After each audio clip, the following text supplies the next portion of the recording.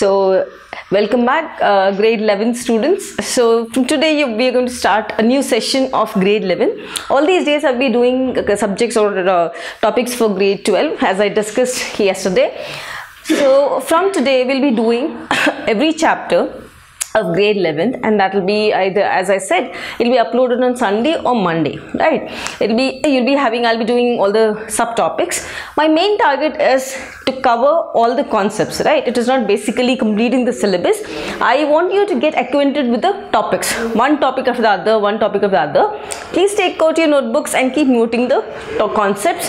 For us understanding the concept is important. Once you understand the concept you can you'll be in a position to solve any type of problems right. So the chapter which i'm going to start today is chemical bonding. So write the heading chemical bonding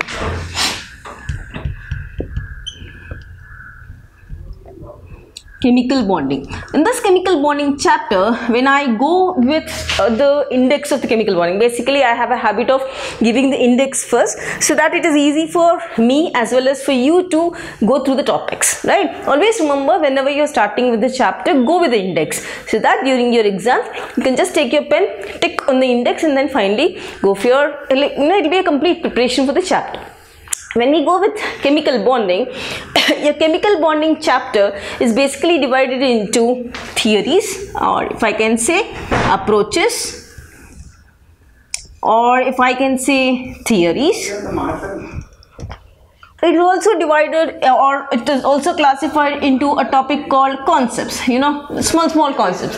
Your cbs is trying to introduce you or NC, yeah, NCERT is trying to introduce small small topics so that further in your study when you go for your master degree or when you go for your masters you know you have the basics in your 11th and apart from these concepts theories concepts and everything you have something called types right?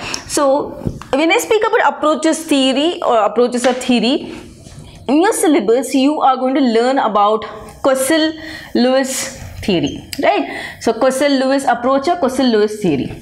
You will also be I'll be writing this theory again types again. Let me write types here apart from Kossel Lewis theory you are going to study MOT molecular orbital theory. You will be studying about VBT valence bond theory. You will be studying about VSEPR valence shell electron pair repulsion theory. Okay? Some you may also have this not a problem. Valence shell electron pair repulsion theory VSEPR theory. You also have uh, and uh, apart from these like vbt is done. Okay this is linked to this this is linked right? When i come back to the concepts of chemical bonding you have a concept of hydrogen bonding you'll be studying the types of hydrogen bonding. You'll be studying what are the factors of hydrogen bonding. You'll also be learning how is hydrogen bonding formed you'll also be studying whether the because of the hydrogen bonding is the solubility increasing or decreasing right? You'll also learn about our concepts of dipole moment. You'll also be learning concepts of hybridizations right in hybridizations you have sp hybridization sp2 sp3 sp3 or sp2d2 sp3d2 give this.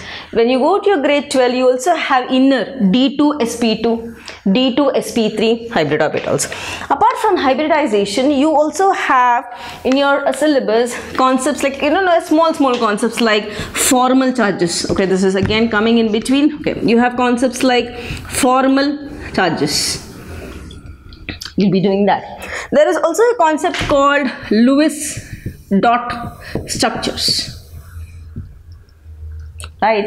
Now these are the basic concepts which i'll be covering. Apart from this topic or apart from these concepts your NCERT also gives you the information on types of bonds right?